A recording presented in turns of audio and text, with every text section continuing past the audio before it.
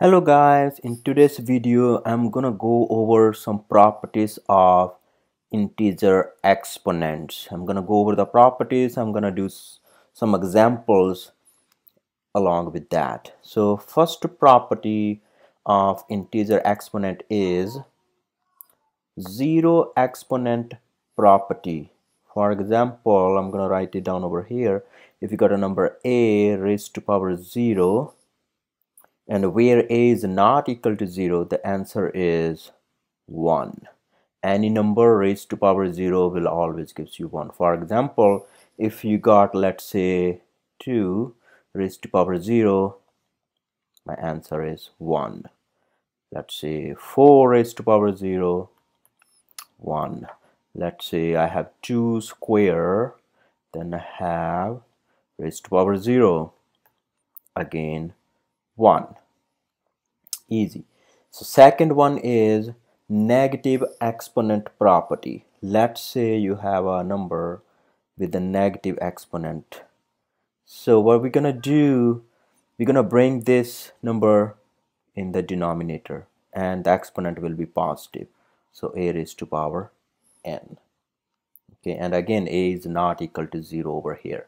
So for example let's say I got uh, 2 raised to power negative 1 so that means this is equal to 1 over 2 raised to power positive 1 okay let's say 3 raised to power negative 2 the answer is 1 over 3 raised to power 2 okay so just what we're gonna do gonna write it down in the denominator with the positive exponent and third property is product of powers property. So product of powers property says let's say you got a number a raised to power m number a raised to power n.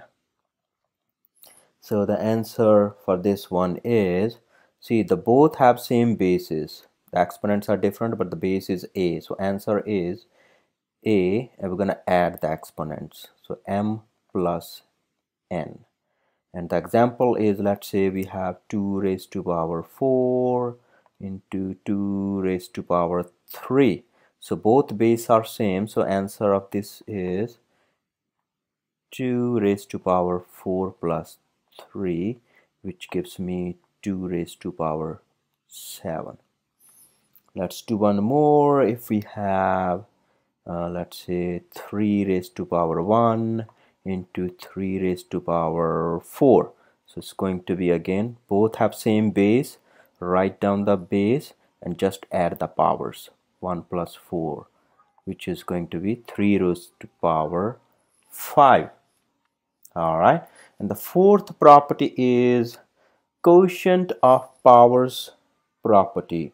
So for example if I got a raised to power m a raised to power n. So basically I'm gonna write the base and subtract the power m minus n. Okay? So a raised to power m divided by a raised to power n is equal to a raised to power m minus n. This can be written as like a raised to power m into and 1 over a raised to power n 1 over a raised to power n is equal to a raised to power negative n.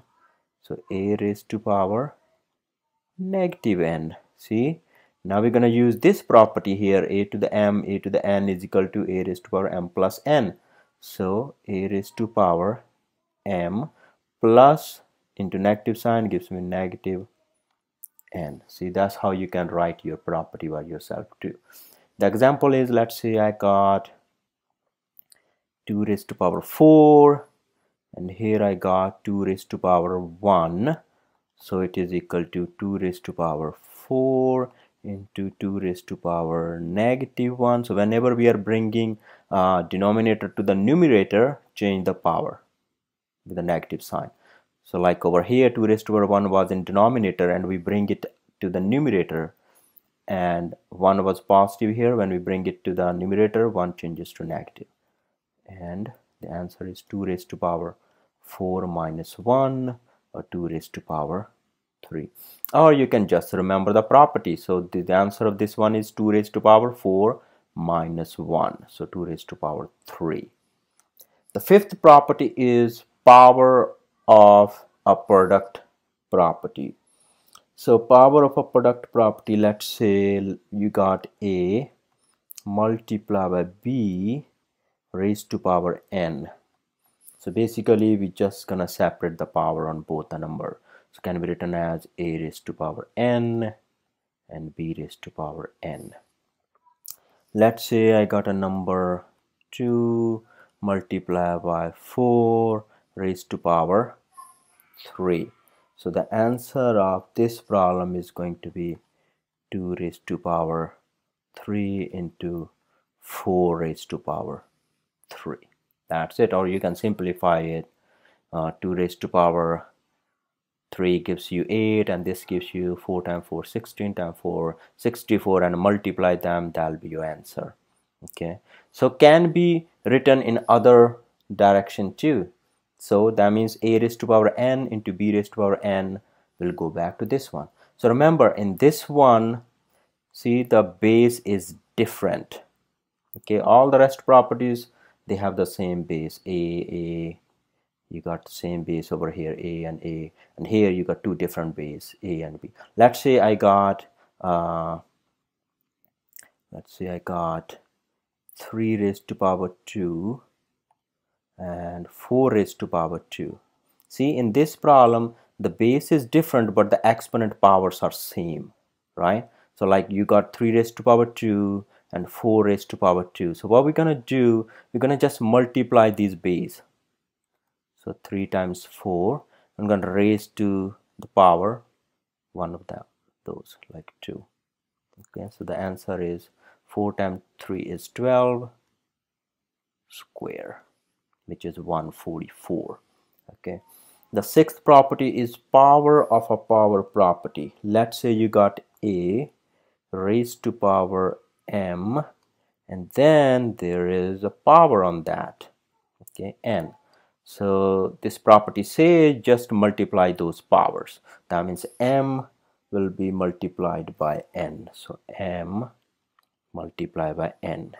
And the example is let's say I got 2 uh, square and then I got third power of it.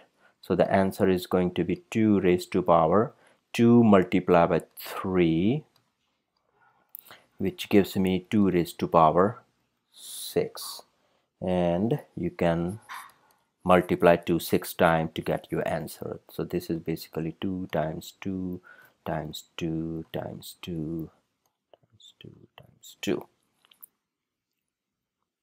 2 times 2 4 times 2 8 times 2 16 times 2 32 times 2 64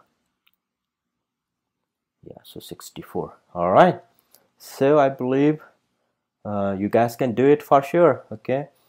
So first property any number with zero power answer is always one. Doesn't matter if there is a exponent on the number and then there is a zero power on it.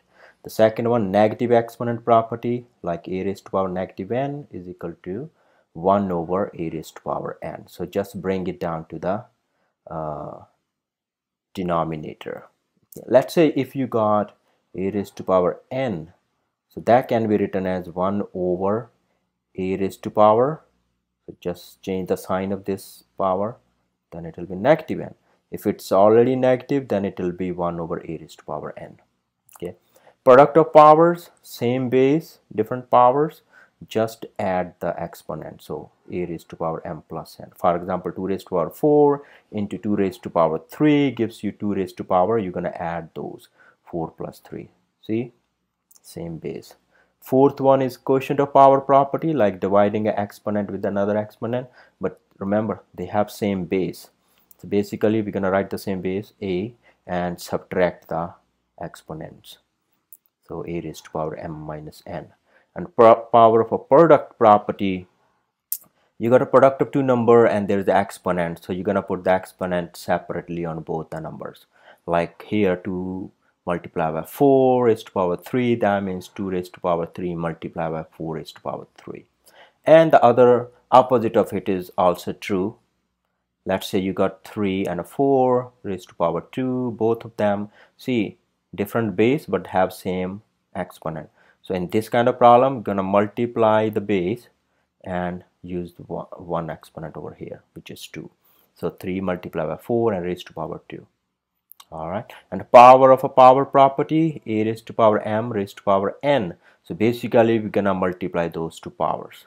All right so that gives you 2 raised to power 2 let's say power 3 so 2 multiplied by 3 gives you 2 raised to power 6 all right i hope this will help you guys. Thanks for watching the video. Please share with your friends and subscribe to the channel. Uh, i'll be making more videos. And thanks for watching the video. Have a good day. Bye bye